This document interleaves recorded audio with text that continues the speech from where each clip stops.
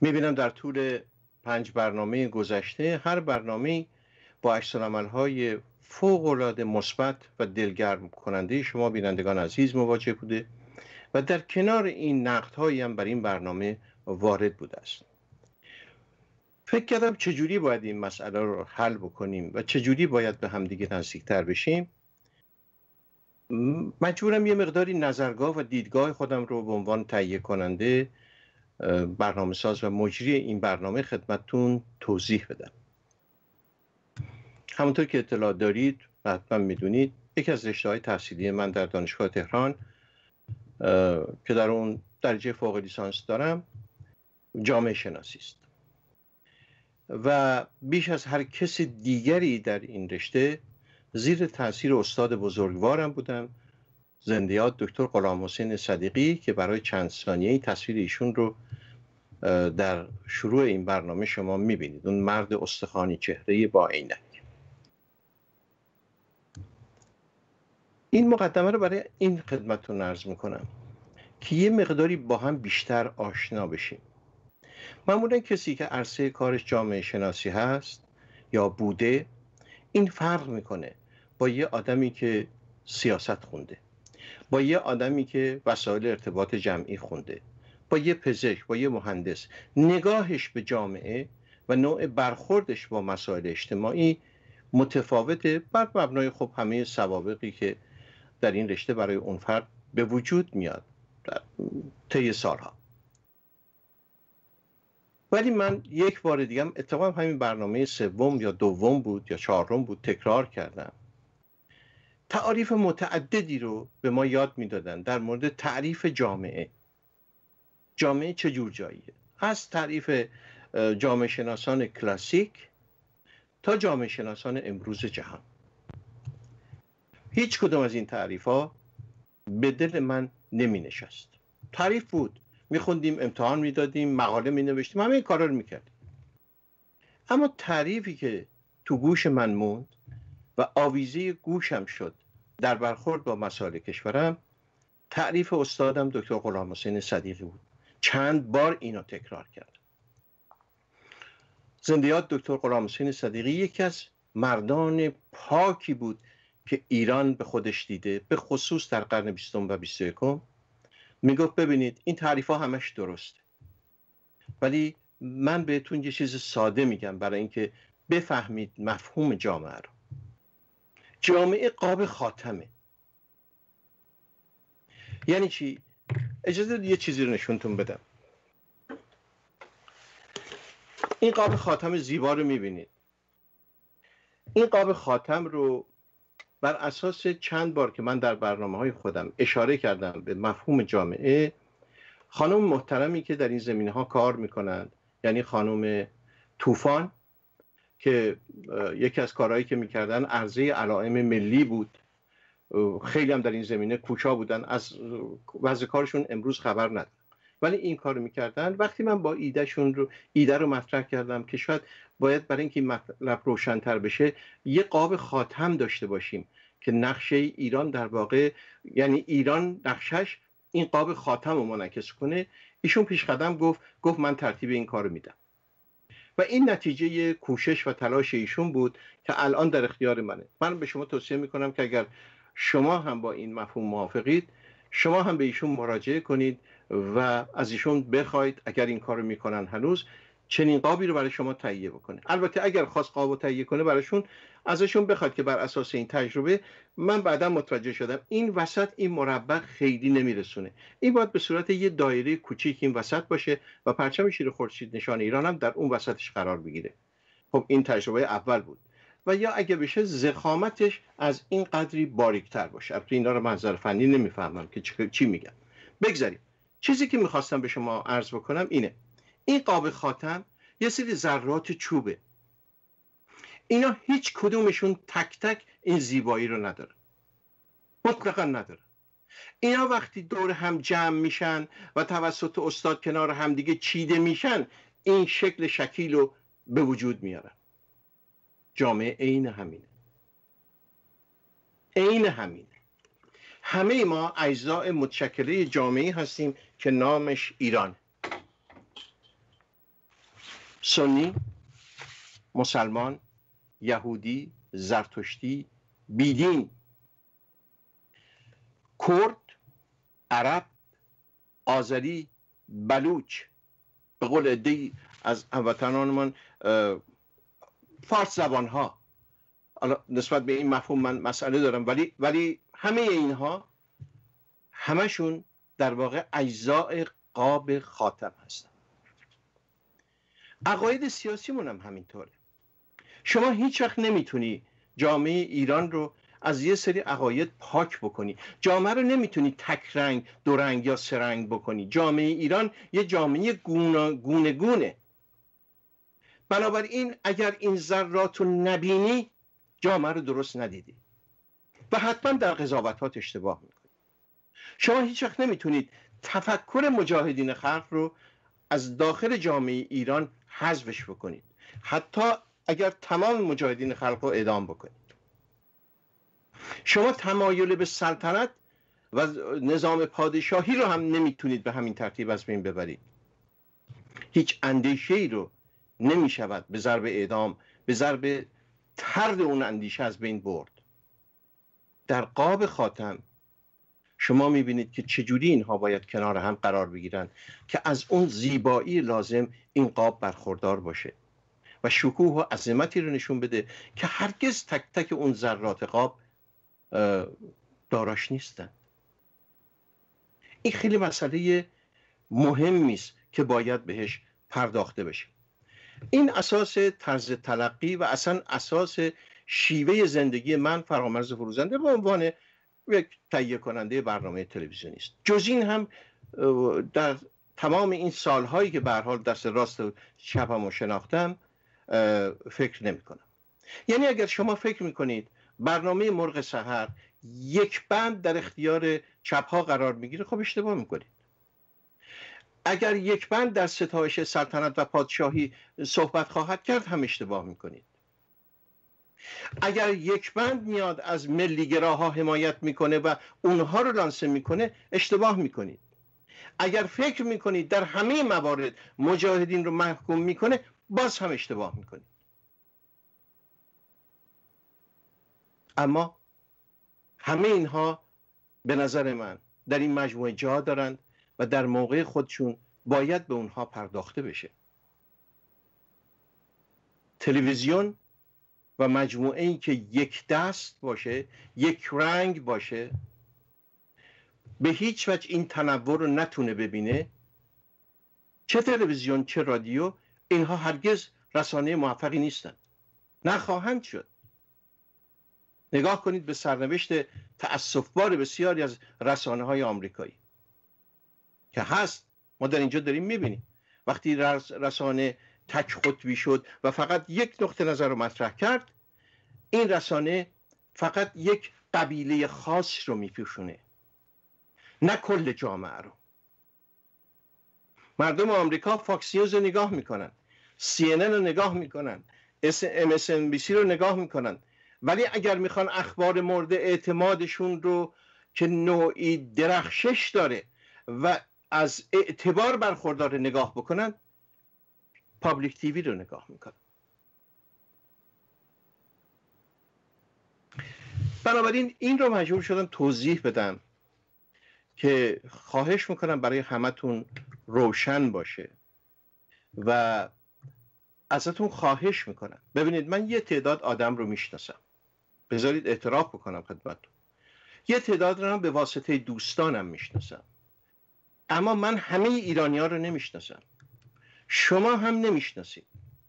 از هر کدوم از شما بینندگان عزیز صمیمانه و دوستانه درخواست می‌کنم.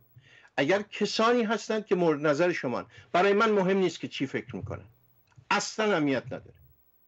فقط همینقدر که قابلیت حضور در تلویزیون داشته باشن کافیه. اگر چنین دوستانی رو می‌شناسید از هر جناهی چپ راست میانه بالا پایین سنی شیعه بیدین بادین حتی طرفداران جمهوری اسلامی حتی طرفداران جمهوری اسلامی که حاضر باشن بیان صحبت بکنن.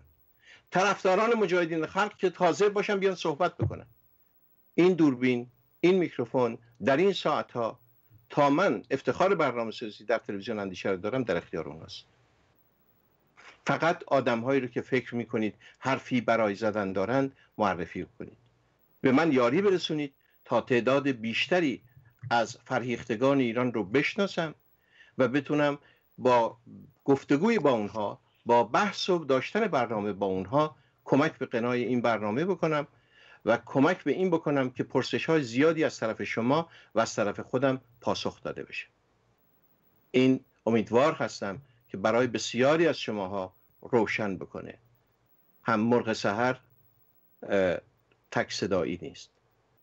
این مرغ سهر سالهای ساله که صدای همه آزادی خواهان ایران رو منعکس می‌کنه از بینندگان عزیز خواهش می‌کنم.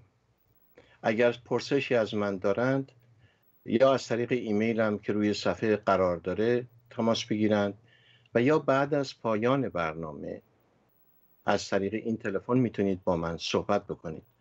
این تلفن به علت زنگ های متعددی که در همین شروع شروع کرد به من خاموشش کردم. بنابراین امکان ارتباط چه از طریق تکس از طریق تلفن از این طریق در طول اجرای برنامه با من وجود نداره.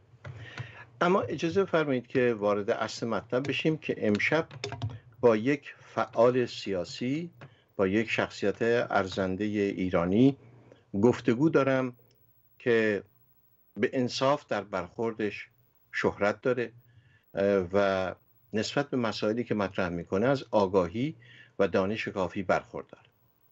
این شخصیت کسی نیست جز آقای عمر ایلخانی زاده دبیر کل کموله زحمتکشان اجازه بدید که به آقای عمر ایلخانی زاده در این ساعت ساعت نزدیک من نمی‌دونم ساعت حدود ساعت سه و 20 دقیقه صبح در اروپا با ایشون اول تشکر کنم از اینکه در این وقت بیدار موندن تا با هم گفتگو کنیم. ثانیا به ایشون ضمن خوش آمد بگم که ما آماده هستیم که در خدمت ایشون باشیم با اولین سوالی که من مطرح می‌کنم. اجازه فرمایید که به شما سلام کنیم. شما هم می‌خواید با بینندگان صحبتی بفرمایید تا با هم شروع کنیم. خیلی ممنون از دعوتتون و سلام به همه بینندگان تلویزیون اندیشه. خب جناب ایلخانی زاده دلیل دعوت از جناب علی تسلط شما اطلاعات شما و قدرت تحلیل شما در مورد مسائل کردستان و این این روزا خیلی مهمه که کسانی رو پیدا بکنید که بتونن یک تحلیل علمی از آنچه که در کردستان روی میده داشته باشن. ممکنه از شما بخوام به عنوان افتتاح بحث ظرف چند دقیقه چهار پنج دقیقه خلاصه ای از اون چرا که بر سر کردستان گذشته به ویژه در اینجا منظور اقلیم کردستانی که در عراقه چون بسیاری از این مسائل از اونجا شروع شد یا دامن زده شد. بیان بفرمایید تا من بتونم سوالات خودم مطرح کنم بله. همونطور که اطلاع دارین در سال 2014 داعش تونست با حمله قافلگیرانه و وسیعی که به عراق انجام داد بخش زیادی از خاک عراق رو تسخیر بکنه و به خصوص اون بخشایی رو تسخیر کرد که در دست دولت عراق بود. در نتیجه بخش زیادی از کردستان هم که جزو اقلیم کردستان نبود دست داعش افتاد. حتی تا کناره های بغداد و اینا رفت. از اونور استان انبار و طرفای اردن و سوریه و همه اینا رو داعش اشغال کرد.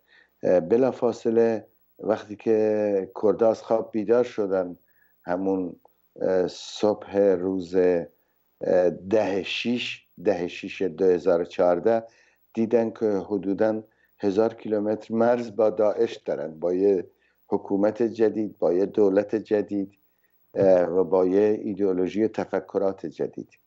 این بود که بلافاصله شروع کردن و اونا حتی نوک حملهشون رو برگردوندن از بغداد به طرف اربیل همون پایتخت اقلیم کردستان اومدن. در تا کنون کردا تونستن تمام مناطقی رو که داعش تسخیر کرده بود و ارتش عراق فرار کرد و یا بنا به تفسیرهای آقای نوری مالکی اون مناطق رو تحویل داد. و بخش زیادی از تجهیزات آمریکایی از توپ و تانک و زره پوش و هامر و اینا گرفته دست داعش افتاد. یعنی بیشترین اسلحه هاشو داعش اسلحه سنگینش رو اونجا به دست آورد. و جنگ اصلی با اقلیم کردستان رو با پیشمرگاه روی داد. در نتیجه پیشمرگاه تونستن اون مناطق رو کاملا پاکسازی کنن.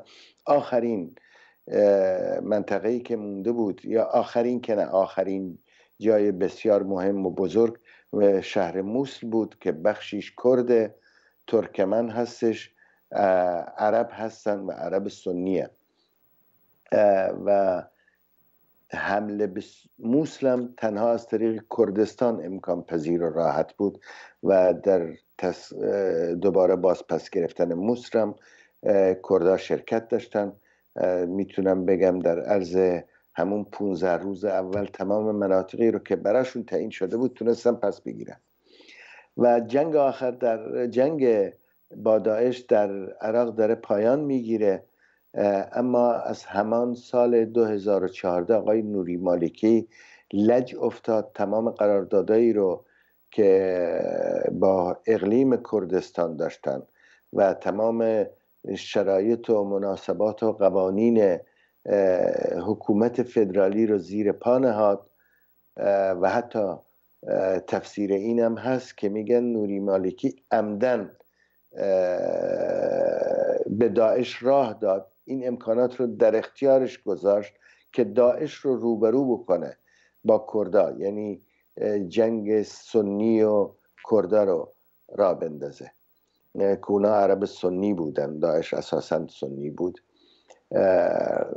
حال این مناطق بازپس گرفته شد از داعش و در سطح جهانی همه جا شما هم شنیدین که گفتم پیشمرگا و یا رزمندگان کرد چه در سوریه چه در عراق در از پیشتازان مبارزه علیه تروریسم هستن.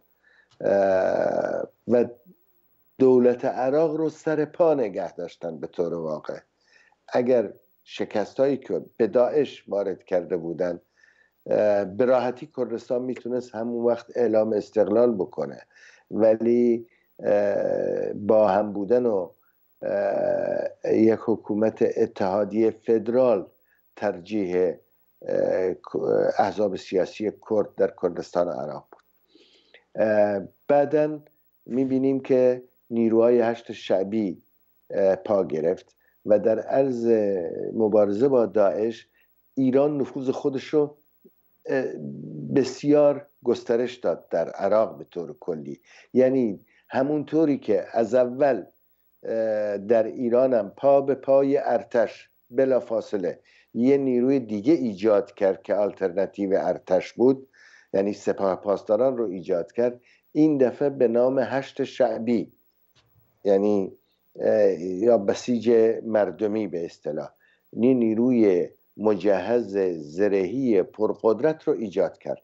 و چون ایران و به خصوص با قدس نفوذ زیادی در عراق و در ما بین نیروهای مسلط داره و خود دولت ایران و جمهوری اسلامی و شخص خامنه ای بر مالکی و تمام شیعه های گروه های شیعه عراق نفوذ داره بالاخره همه امکانات رو در اختیار این نیرو گذاشتن که می‌تونم بگم به لحاظای علا رقمی که آمریکایی ها سرپیچی کردن که این نیرو رو آموزش بدن حاضر نشدن این نیرو رو به رسمیت بشناسن هم پیمانان چه اروپایی ها چه آمریکایی ها ولی این نیرو به عنوان یه نیروی قدرتمند عرض اندام کرد و بالاخره به عنوان این یه نیروی میلیشیا بود میلیشیا بود که بلافاصله با فرمان پارلمان عراقی قانون گذروندن که اینو جزو نیروهای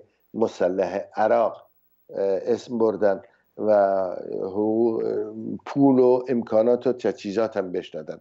جالبه بگم که مهدی مهندس که از یاران نزدیک قاسم سلیمانی است و قبلا حزب الله رو درست کرده بود در سال 2007 اینا حزب الله عراق رو تأسیس نهاده بود. و در بیروت و در حزب الله لبنان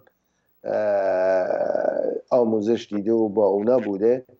آقای مهدی مهندس همین دیروز توی سخنرانی گفت که ما کاری نداریم ما خیلی نزدیکیم به ایرانیا و به جمهوری اسلامی و اونا کاری برای ما نکردن. فقط پشتیبانی مادی از ما می‌کنن.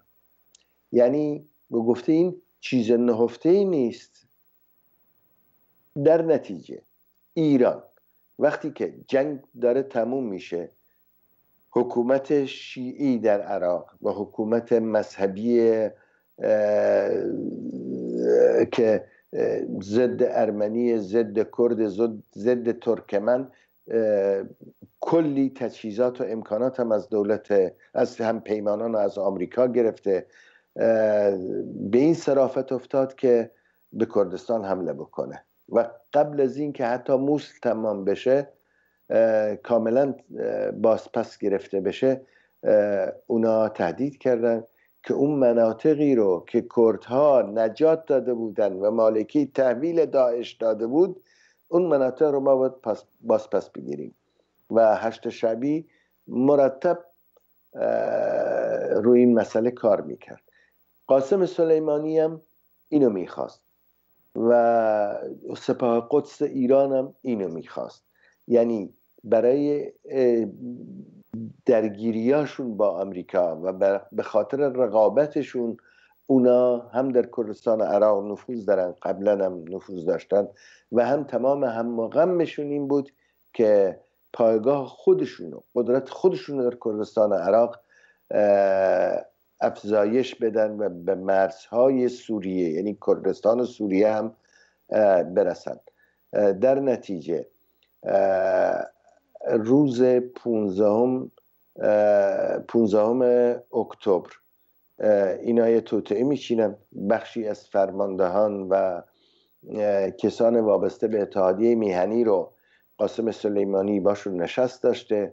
هادی آمری که مسئول سپاه قدس سپاه هشت شعبی هستش باشون جلسه داشتن و طی توطعه و خیانت که مقدم چینیش از ماه ها پیش بوده به کرکوک حمله می‌کنن ولی حملهشون به این ترتیب بود که بخشی از فرماندهان و نیروهای داخلی کردار راه براشون باز کردن. راه براشون باز کردن که حتی می‌تونست پشت جبهه بقیه پیشمرگان رو تحت تصرف قرار بده. این حمله مشخصا با حضور و وجود آقای قاسم سلیمانی صورت گرفته. در تمام این روزها در منطقه بود و بالاخره آمریکایی‌ها و هم پیمانان هم ناظر بودن نظارت می‌کردن به عنوان جنگ بین اقلیم کردستان و حکومت عراق. و به نوعی تمایل داشتن. جهتشون این بود که سعی کنن آقای حیدر العبادی رو که فکر می‌کنن به ایران نزدیک نیست فرق داره و با مالکی اختلاف داره که مالکی پیرو و در اصل تابع حکومت جمهوری اسلامی هست. خودشو مرید آقای خامنه ای می‌دونه امریکایی بازم در عراق هم همون اشتباهی رو تکرار کردند که در عرض بیش از 20 سال گذشته در ایران تکرار کردند که فکر کردم با پشتیبانی از اصلاح طلبا با لاس زدن با, با اصلاح طلبا می‌تونن تغییر حکومت بدن. من فکر می‌کنم به همون بلایی دوچار گرفتار میشن دوچار میشن که در ایران شدن. یعنی سرشون به سنگ خورد و امکان این معلوم شد که نیست با وجود اصلاح طلبا با وجود کسایی که ولایت فقیه رو قبول دارن. کسایی که جمهوری اسلامی نه کلمه کم نه کلمه زیاد رو قبول دارن. از موسوی و خاتمی و همه گرفته تا آقای روحانی فعلی کار به جایی نبردن راه به جایی نبردن. و من فکر می‌کنم در عراقم همون بلا سر آمریکایی میاد و همون اشتباه رو دارن تکرار می‌کنن. حالا چرا ایران اینقدر مایه می‌ذاره این خودش اجازه در سوالات بعدی خودم این موضوع رو از جنابالی بپرسم. یک پرسشی هست که این خیلی کمک می‌کنه به مسیر ادامه مسیر گفتگوی ما جناب ایلخانی زاده و این است که ممکنه برای من بفرمایید که به عنوان یک ایرانی کرد یا کرد ایرانی چه تفاوت ها و چه وجوه مشترکی بین خواستهای کردها در چهار کشوری که قرار گرفتن یعنی عراق ترکیه سوریه و ایران وجود داره. در چه زمین های اینها وچه اشتراک دارن و در چه زمینه هایی وچه اشتراک ندارن و خواستهای خاص رو در رابطه با کشوری که هستند دارن مطرح می‌کنن. یا اصولا نگاهشون تا چه حد جنبه عمومی داره بین جامعه کرد و تا چه حد جنبه اختصاصی بسته به کشوری که در اون زندگی می‌کنن به حال به نام اون کشور شناخته میشن فعلا اینها در واقع دارند. تا حال که داریم با هم صحبت می‌کنیم تمام جنبش های کرد در همه اون مناطق. از صد سال قبل تا کنون خواستار رفع سیستم ملی بوده خواستار یه اداره محلی بوده. یه وقت خود مختاری اخیرا فدرالیزم. در این وجه اشتراک دارن تمام مبارزین کرد و تمام احزاب سیاسی کردستان. چه در ایران چه در سوریه چه در عراق و غیره. ولی پی کی کی یه دوره خواستار دولت چهارپارچه کردستان بود یه دولت کردی. و این شعارش بود که حالا تغییر داده حالا اینجوری فکر نمی‌کنه. و می‌خواد در چارچوب ترکیه بالاخره برای حقوق کردا مبارزه بکنه. من فکر می‌کنم تفاوت ها و اختلاف ها در سیاست ما بین احزاب کردی یا جنبش های کرد در بخش های مختلف کردستان ایران عراق سوریه ترکیه در واقع همون جدایی هایی است که در خود این جامعه ما بین ایران ترکیه عراق و اینا وجود داره. یعنی جدایی های فرهنگی تفاوت های فرهنگی. تفاوت های تاریخی. مثلا اگه ببینیم کردستان عراق وقتی که دولت عراق تشکیل شده اصلا جزء دولت عراق نبوده. اینا ایالت ولایت موسل بود تحت نفوذ دولت عثمانی. بعد از اینکه عثمانی شکست خورد کردستان یه بخش از کردستان رو چسبوندن به عراق. ولی مثلا در مورد ایران به این صورت نیست. مثلا در مورد ترکیه به این صورت نیست. اما در مورد سوریه دقیقا به این صورت هستش. حال اینا رو میشه در تاریخا دید. ولی مسئله اصلی که جنبش مردم کردستان رو تعیین می‌کنه محتواش رو معین می‌کنه مبارزه برای رفع سیستم ملی و برابری با دیگر ملیت های حاکم در ایران، عراق، سوریه و ترکیه است. این پاسخی شما به من مرمت فرمودید می‌تونه مبنای طرح پرسش های متعددی برای چندین برنامه مفصل باشه. و من هم اینجا از شما قول می‌گیرم که این قول رو به من, به من و بینندگان این برنامه در تلویزیون اندیشه بدید که در آینده نزدیک با هم دست بر سر این نکات گفتگوی دقیق تری رو داشته باشیم. اما نکته که می‌خوام در اینجا از شما بپرسم برمیگردم به توضیحات قبلی شما. و این است که چرا جمهوری اسلامی اینقدر مصر هست که در واقع در کردستان عراق صاحب نفوذ باشه. چی می‌خواد؟ دنبال چی هست جمهوری اسلامی؟ که حتی ممکنه این به شکست خودش منجر بشه در نهایت. دنبال چیه؟ سودای جمهوری اسلامی چیه؟ جمهوری اسلامی از ابتدا که سر کار اومده صدور انقلاب اسلامی شعارش بوده. من فکر می‌کنم عدول نکرده از این شعار. تکرارش نمی‌کنه.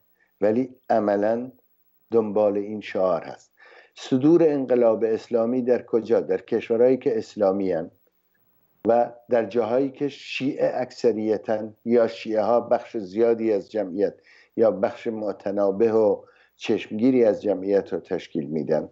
کجاست؟ اولین همسایش عراقه. بعد سوریه است.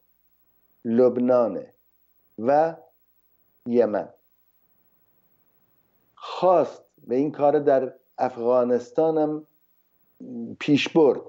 همه ما می‌دونیم که گلبدین حکمتیار رو تو ایران که بود وقتی که طالبان شکست خورد داشت شکست می‌خورد. اواخر طالبان بود حکومت طالبان بود. ایران گلبدین حکمتیار رو به اسم اینکه اخراج کرد و باش همکاری نمی‌کنه به دلیل نزدیکیش به طالبان از ایران اخراج کرد. اما در واقع گلبدین حکمتیار رو برای همکاری و برای کمک به طالبان به افغانستان فرستاد. اونجا هم مثلا در میان هزاره ها حالاش هم داره کار می‌کنه که شیعه مذهبن. اساس چیزی که رفته رفته تکمیل شده به استراتژی جمهوری اسلامی تبدیل شده اینه. از تهران تا بیروت و تا دریای مدیترانه از اونور و در نتیجه وقتی که به بیروت برسه از اونورم به دریای سرخ به دلیل وجود حسی ها و شیعه های یمن دسترسی پیدا خواهد کرد. نفوذش رو گسترش بده و این سیاست رو در این چند سال پیش برده. پول و امکانات فراوانی در, در اختیار حزب الله گذاشت. سرمایه گذاری عظیمی رو حماس کرد و حالا هم سرمایه گذاری عظیمی و ارتباطات نزدیکی با حکومت شیعی عراق داره و یکی از متحدین پرپاقرس و پشتیبان و نگهدارنده حکومت بشار اسد بوده. این سیاست همون سیاستیه که آقای رفسنجانی یه دوره گفت.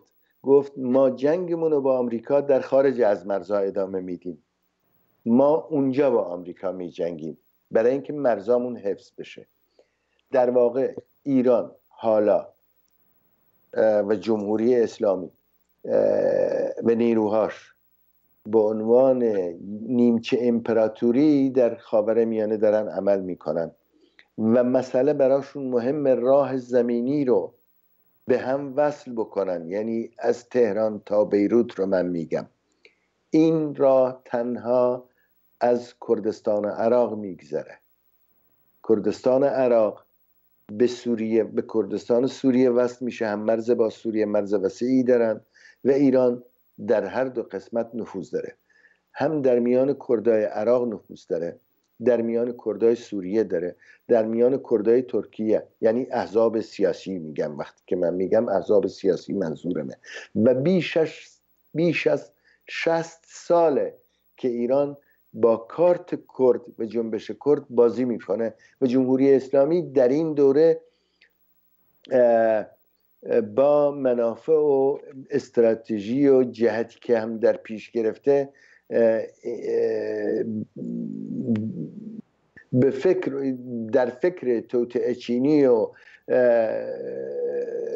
گمراه کردن مبارزات مردم کردستان و جنبش کردستان هم بوده. در نتیجه به لحاظ زمینی به لحاظ لوجستیکی برای اینکه به حزب الله برسه برای اینکه به اسد برسه راه زمینیش از کردستان عراق و از عراق میگذره تا به سوریه. این مسئله اصلی ایرانه و در این حال به لحاظ سیاسی اینو درک کرده. اگر در خارج از مرزها مثل تمام امپراتوری هایی که در تاریخ بودن در خارج از مرزها با شکست مواجه بشه نمی‌تونه با این همه بشکه باروتی رو که در داخل ایران هست. این همه, این همه ظلم و تعدی رو که هست کنترل بکنه. چون من عمیقا معتقدم که ایران در ابتدا در خارج از مرزهاش با شکست روبرو میشه. یه فاکتورها و زمینه های اعتراضات داخلی در ایران فراوان از جنبش زنان گرفته از جنبش آزادی خواهی گرفته از تعدیات و ظلمی که بر فرقه های دینی جوراجور تحمیل می‌کنن از بیحقوقی که به مردم روا میدارن و اجرا می‌کنن از مالخوری که دارن می‌کنن و میلیون ها نفر رو به خاک سیاه نشوندن. همه اینا فاکتورایی که جنبش در داخل زمینه بسیار قوی داره و جمهوری اسلامی تا حال با اتکا به دخالتهاش در خارج می‌خواد سرکوب بکنه در داخل و تونسته تونسته سیاست سرکوبش رو در داخل پیش ببره. اگه به تاریخ هم نگاه کنیم چه امپراتوری روسیه تزاری چه امپراتوری عثمانی و دیگر امپراتوری هایی که اروپایی و غیر اروپایی وقتی که در خارج مرزاشون دچار شکست و فتور شدن انقلابات داخلی و مبارزات داخلیشون گسترش پیدا کرد. ایران هم اینو می‌دونه و رو این داره برنامه ریزی می‌کنه. سپاسگزارم. پس فعلا در واقع جمهوری اسلامی تا اینجا برنده این مقطع زمانی این جریانه. بله. نه تنها در این مورد. من باید به عرض برسونم سی سال گذشته رو در نظر بگیری به دلیل افراتیگری سنی ها و روی کردشون به تروریسم طالبان داعش و صدام حسین و حکومت افغانستان طالبان سرنگونی طالبان سرنگونی صدام حسین و اومدن داعش همه اینا به نفع جمهوری اسلامی بود و به بهترین نفع از این بهره برداری کرد. جمهوری اسلامی که دوست نزدیک آقای مالکی بود و آقای مالکی در مقابل 300 نفر داعشی که به موسل حمله کردند. 300 نفر. یک ارتش ده هزار نفری با تانک و توپ رو دستور عقب نشینی بهش داد بدون اینکه حتی یک گلوله لیک بکنن. بعضی از ناظرین که من معتقدم به این تحلیلشون فکر می‌کنم ایران در این رابطه دست داشت. همونطوری که گفت آقای خمینی گفت که جنگ ایران و عراق برکت بود. به نظر من داعش هم براشون برکت بود و در عین حال نایف بودن و عدم شناخت قدرت های خارجی و به خصوص آمریکا هم بهشون کمک کرده و به همین دلیل ویلا مردم ایران و مردمان ایران آگاهتر و مبارستر از اینن که سی هشت سال چنین ظلم و استبداد و سیه روزی رو قبول بکنن بینندگان عزیز جاب ایلخانی زاده از شما تا اینجا تشکر می‌کنم. از شما خواهش می‌کنم که تحملی بفرمایید. بینندگان عزیز در این لحظات به پخش پیام های بازرگانی تلویزیون اندیشه می نشینیم بلا فاصله بعد از پیام ها قبل از که من و آقای ایلخانی زاده صحبتون رو آغاز کنیم یک قطعه موسیقی محلی دیگه پخش خواهد شد برمیگردیم و من پرسش دیگر خودم رو از جناب ایلخانی زاده مطرح می‌کنم. پرسش اینه در چند سال گذشته که اقلیم کردستان به وجود آمده در چند سال گذشته که در واقع کردها در عراق توانستند به نوعی استقلال نسبی برسند خودشون چه کردند؟ جامعه دلخواه آیا کردها رو فراهم کردند؟ آیا یک نظام دموکراتیک واقعی در کردستان عراق حاکم هست یا حاکم نیست؟ و روش های حکومتی تا چه حد با روش های حکومتی دولت های مدرن قابل تطبیق و مقایسه است؟ زاده این است که بیایم یه نگاهی بکنیم ارزیابی بکنیم یا ارزشیابی بکنیم. این دورانی رو که اقلیم کردستان تحت سلطه کردها بوده در عراق و اون رو اداره کردن. جنبه های مثبت و منفی این به صلاح دوران رو نگاهی بهش داشته باشیم و اینکه این تا چه حد با اون آمال و آرزوی کردها برای رسیدن به یک جامعه متفاوت جامعه مستقل جامعه خودمختار جامعه فدرال جزی از جامعه فدرال همخانی داریم. جناب ایلخانی زاده ما در خدمت اولا باید بگم حکومت اقلیم کردستانم از اول که تشکیل شده با شعار و اعتلاف بسیار نادرستی که اون وقت به خصوص انگلیسی ها و غربی ها روش اصرار داشتن عراق رو گفتن سه جریان اصلی درش هست. بر مبنای سنی شیعه و کرد عراق رو عراق بعد از صدام حسین رو تشکیل دادن. من فکر می‌کنم همون وقت نمیباز کردا اینو قبول می‌کردن. چون اصلا چرا چرا اعراب نه؟ خود مذهب رو وارد کردن. به دلیل اینکه نیروهایی که به علیه صدام حسین مبارزه می‌کردن پشتشون ایران بود. از یه طرف از یه طرف دیگه پشتشون عربستان بود.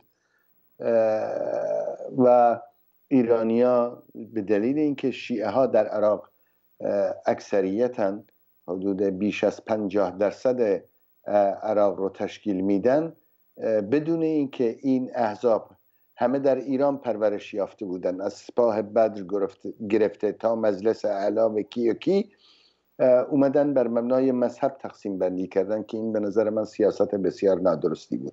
ولی حکومت اقلیمی که تشکیل شد در خاور میانه تشکیل شده و جزو حکومت اتحاد فدرالی اتحادی عراق بود که تو قانون اساسیش اسلام و مبتنی بر شرع بودن درش گنجنده شده بود و در عین حال در شرایطی تشکیل شد که دو حزب اصلی که پنجاه پنجاه در انتخابات تقریبا آوردن و پنجاه پنجاه حکومت رو تشکیل دادن اون وقت خودشون سالها با هم درگیر نبرد و جنگ و اختلافات طولانی بودن.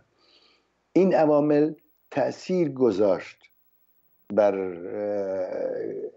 ترکیب این حکومت که اولا دموکراسی درش محدود شد خصوصا می‌گفتند پنجاه. پنجاه اتحادیه میهنی و حزب دموکرات کردستان حکومت رو تشکیل میدن که این غیر دموکراتیک بود.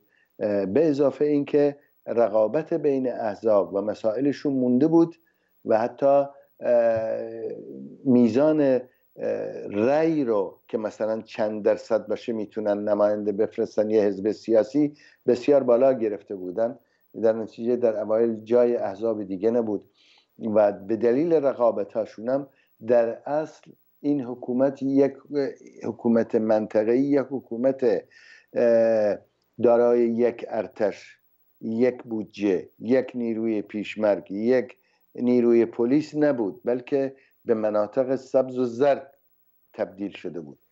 در این شرایط ما می‌تونیم شاهد انواع فساد سیاسی فساد اداری باندبازی و پارتی بازی و همه اینا باشیم در نتیجه از نظر من این حکومت یه حکومت مطلوب برای مردم کردستان و آرزوهاشون نیست. اما حکومت اقلیم کردستان رو داریم که یک قانون اساسی منطقه‌ای خودش رو داره. بر مبنای مذهب نیست. حکومت مذهبی نیست سکولاره. این حکومت در حالی که ترکمن ها اعراب کلدانی ها آشوری ها و مسیحی ها درش بودن به بهترین وجه هیچ آزاری رو ندیدن و همین حالا هم وقتی که داعش حمله کرد به جای اینکه به عراق و به دولت عراق پناهنده بشن به کردستان و به اقلیم کردستان پناهنده شدن. ما در کرکوکی که رفراندوم انجام شد اکثریت ترکمن ها رأی دادن که کرکوک جزو که جزو مناطق مورد منازعه است در قانون اساسی که ماده 140 باید تکلیف شد تعیین کنه. و هیچ وقت ماده 140 رو حکومت عراق اجازه نداد که اجرا بشه یا در پی اجراش برن. همین مردم ترکمن کرکوک اکثریتشون رأی دادن که بیان و جزو اقلیم کردستان باشن. در کردستان عراق زندانی سیاسی نیست. به خاطر عقیده و باور و اینا. روزنامه آزاده. برخلاف ایران. برخلاف عراق. و بیشترین یعنی با جمعیت چهار نیم میلیونی یک میلیون هشتصد هزار پناهنده رو از عرب و ترکمن و مسیحی پناه داده. بدون اینکه یک مورد شما ببینید که تجاوزی بهشون شده تبعیضی در موردشون صورت گرفته یا مورد آزار و اذیت قرار گرفتن. در صورتی که هر جا هشت شعبی و دولت عراق تونسته مسلط بشه سنی ها ما حدود چهار میلیون تا پنج میلیون نفر آواره سنی در عراق داریم. سنی ها مسیحی ها کلیسه هاشون سوخته شد. آشوری ها کلدانی ها ترکمن ها خونه و مالشون تاراز شد. به این لحاظ به نظر من در دورور خودش دموکراتیک ترینه و به این لحاظ به نسبت عراق سرگردنی بالاست. علا رغم تمام فساد مالی که داشتن و چپاولی که شده در اونجا هم ولی عمران و آبادانی در کردستان عراق بسیار بیشتر از بسره پرنفت از بغداد پایتخت. بغداد ویران است. حتی خارجی هایی که میان اینو می‌بینن. همین آقای رضا دقتی رو که یک نفر ایرانیه کردم نیست و رفته بود ناظر داوطلبانه ناظر انتخابات و اینا بشه. مثلا گزارش رو تو بی بی سی شنیدیم. به این لحاظا تفاوت اساسی داره با حکومت مذهبی مذهبی عراق که قوانین شیعی و خودش رو پیرو ولایت فقیه می‌دونه.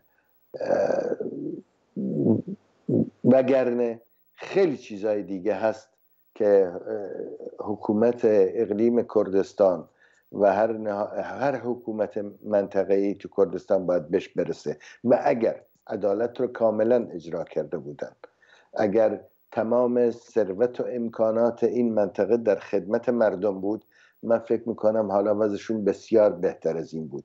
اگر حزب اگر حزب نه منافع ملی و مردمی رو در نظر می‌گرفتن اولویت می‌دادن حالا کارشون بس... یه جای دیگه بود. اما این حکومت خارج چشم جمهوری اسلامیه. یعنی در مسیری که جمهوری اسلامی میره و هلال شیعی رو درست می‌کنه یه حکومت سکولار که به ارمنی و یهودی و آشوری و کلدان رأی میده هست.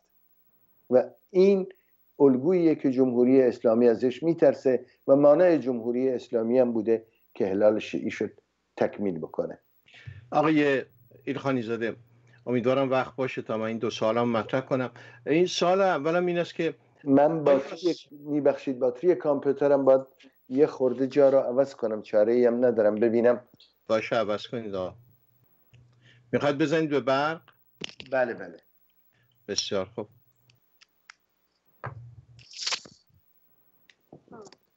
بله بسیار خوب. فکر نکنم چندان مشکلی باشه در عوض کردن جا. نه نه نه مسئله نیست. بله. بیشتر فرمایشاتون مرتوجه اگرچه تصویرتون هم خوبه. فقط سر دوربینتون رو یه خورده بیارید پایین تر نه نه نه. یه خورده جهت عکسش. بعد الان خوب. الان الان الان خوبه. بله. ممنونم. ببینید جناب خانی زاده. ساختار حکومت چطوره؟ آیا ساختار حکومت دموکراتیکه؟ آیا خانواده بارزانی و خانواده, خانواده طالبانی یه نوع حق پدرسالاری برای خودشون قائل نیستند آیا شما به عنوان شخصیت کرد از این روند حکومتی راضی هستید؟ نه به هیچ وجه. همونطوری که گفتم که وقتی که دو حزب اصلی قدرت رو ما بین خودشون تقسیم کردن و تا سالها اجازه ندادن مثلا بحث بود ده درصد باشه یا پنج درصد اونایی که می‌تونن نماینده به پارلمان بفرستن. بعدا این تصویب شد که بیاد پایین و تا سطح پنج درصد بیاد. و در این حال من گفتم که دسیسه چینی و باندبازی و هر کی برای حزب خودش در اونجا داره عمل می‌کنه. هنوزم نیروی پیشمرگ یه نیروی متحد که کاملا زیر فرماندهی باشه نیست و هنوزم به نهادهای مردمی تکیه نمیشه و به این لحاظا به لحاظ دموکراسی به نظر من هنوز راه درازی دارن که باید طی کنن. علا رغم اینکه در بعضی موارد بسیار دموکراتیک تر. یعنی اصلا نمیشه قابل مقایسه نیست. دموکراسی درش هست بالاخره انتخابات آزاد هست. نمایندگان پارلمان آزادانه انتخاب میشن و و غیره. و احزاب سیاسی می‌تونن فعالیت کنن. احزابی که فعالیت می‌کنن بودجه می‌گیرن. از حکومت برای فعالیتشون برای تبلیغاتشون برای همه اینا. ولی هنوز یه تلویزیون دولتی نیست. تلویزیون هنوز حزبیه. یا مال اتحادیه میهنیه یا متعلق به پارت حزب دموکرات کردستان پارت دموکرات کردستان به این لحاظا خیلی چیزا باید تغییر بکنن.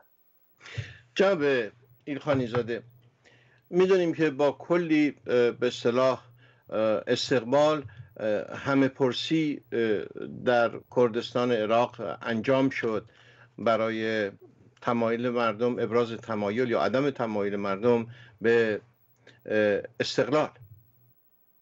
اما امروز اون ظاهرا اون نتایج همپرسی به حالت تعلیق در اومده و واقعا آیا این همپرسی لازم بود؟ این همپرسی چه مسئله ای رو حل کرد؟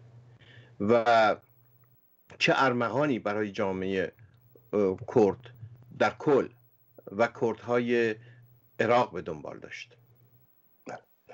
من همین رو به عرضتون برسونم که وقتی که رأیگیری بود برای جمهوری اسلامی ما کمله و دیگر احزاب سیاسی تصمیم گرفتن که مردم کردستان بایکوت بکنه و رأی نده به جمهوری اسلامی. ما در اون همه پرسی به جمهوری اسلامی رأی ندادیم. و این اسلحه ماست از اون زمان تا حالا که میگیم ما رأی ندادیم به جمهوری اسلامی رو کردستان قبول نکرد. نتونستن دو درصد آرا را هم در کردستان به دست بیارن. کردستان بایکوت کرد. در نتیجه این مهم بود و هنوز یه اسلحه سیاسی در دست ما. در عراقم به هیچ وجه از سال 2014 بودجه حکومت اقلیم کردستان رو قطع کردن نوری مالکی. مطابق توافقی که داشتن ارتش به نسبت جمعیت میبایست کرد درش باشه. تصفیهشون کردن. سپاه سالار عراق کرد بود اخراجش کردن. و رفته رفته از افسر جز گرفته تا سرباز این قرارداد رو هم لغو کردن و نذاشتن.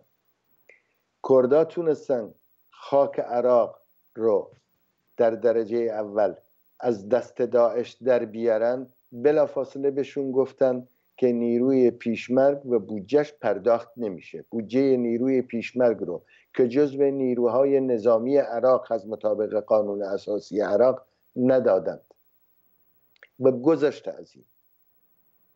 به سراحت نوری مالکی نوری المالکی و حیدر العبادی که ظاهرا نرمتر بود حیدر العبادی اینا گفتن که ما بعد از داعش اون مناطقی رو که کرداد پس گرفتن از دستشون در میاریم. هشت شعبی گفت ما قبول نمی کنیم به حکومت کافر بیدین رو. به کردستان حمله خواهیم کرد. اینو نه یک مسئول دسته یا گروهان یا مسئول قسمت بگه. بلکه هادی آمری که مسئول این کار بود مسئول کل هشت شعبی 140 50 هزار نفر است و مجهزه به تانک و توپ می‌گفت. این قطعی بود رفراندوم می‌شد یا نمی‌شد به کردستان هم نمی‌کردن در صورتی که کار راحت این بود اون مناطقی که دست کردستان هم هست بیان یه انتخابات درش انجام بدن مطابق ماده 140 کرد همینو می‌خواست. در اون مناطقی که مورد منازعه است لطفا انتخابات آزادی رو با نظارت بین المللی با نظارت سازمان ملل انجام بدید. هر جا اکثریتش کرد بود و هر جا اکثریت کردم رأی دادن که با اقلیم کردستان باشن باشن. این تو قانون این ماده 140 تو قانون اساسی عراق هست. اینم حاضر نشدن اجرا کنن. و بلا فاصله بعد جنگ یه منطقه هویجه یه منطقه است نزدیک کرکوک.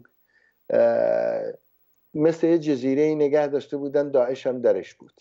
حاضر نشدن بیان به جنگ داعش در اونجا. چرا؟ می‌خواستن موسل رو بگیرن. بعد همه تجهیزاتشون رو بیارن به طرف هویجه و به کردستان حمله بکنن. اینا محرز بود. من فکر می‌کنم کردها ناچار بودن از این. و تازه وقتی که می‌گفتن می قبل از اینم چند بار هیئت کردا رفت که مسئله بودجه مسئله نیروی پیشمرگ مسئله سازمان ارتش و همه اینا مسئله ماده 140 بلکه به توافق برسن. دولت عراق حاضر به این توافق نبود.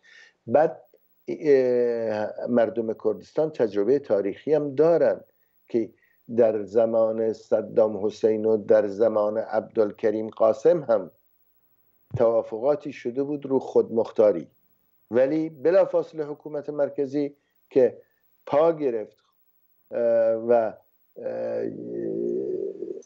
جونی خونی تو رکاش افتاد و یه خورده از این نخوت و افتادگی در اومد بلافاصله به کردستان حمله کرد و طبیعی از این میترسیدن و گفتن, از گفتن هم از این میترسیم. در نتیجه چاره ای نداشتن و رفراندوم انجام دادن. رفراندوم انجام دادن همون مناطقی که مورد منازعه است. هفتاد و پنج درصد مردم در رفراندوم شرکت کردند. بیش از هفتاد درصد مردم در رفراندوم شرکت کردند. اونجا گاهی اوقات بیشتر بود از سلیمانیه و جاهای دیگه. و 92 درصد مردم 92 و 7 همه درصد مردم رأی دادن اینکه با اقلیم کردستان باشن این یه سند تاریخیه. بالاخره عراق حملهشو می‌کرد. و اونا نمی‌تونستن بگن دو دستی تقدیمت می‌کنیم رضایت میدیم که این مناطق مال شما باشه. باشه با جنگ تحویل گرفته ازش می‌گیرن. که من فکر می‌کنم فکر می‌کنم این دولت عراق که پشتیبانش ایرانه و طراح و راه برنده نقشه کنونی جنگی هم سپاه قدسه نمی‌تونه به سرمنزل مقصود برسه و من شکی ندارم در این مورد شکست خواهد خورد. و کردا خودشون رو بازسازی کردن. همین حالا. و کردا چیزی رو از دست ندادن. همون سال 2014 کجا بودن؟ اقلیم کردستان هست. به اضافه اینکه یه سندم از مردم گرفته که اینجا هم جزو اقلیم کردستان می‌تونه باشه. بینندگان عزیز درست من زمانی که در اختیارم دارم اگر اشتباه نکنم و اتاق فرمان به من تکسی بزنن بیش از پنج دقیقه نیست. ولی با توضیحات جناب ایلخانی زاده و روند گفتگو در پایان گفتگو شاید به مهمترین بحث پایه‌ای و فلسفی این گفتگو می‌رسیم.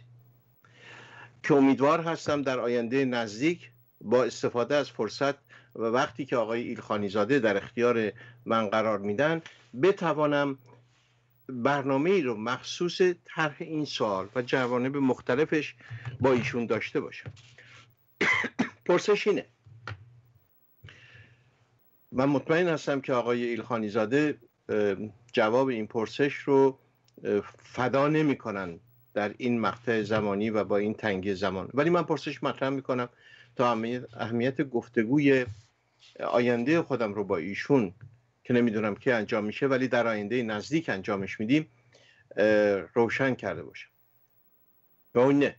پرسش اینه. آیا جدایی خواهی از یک کشور؟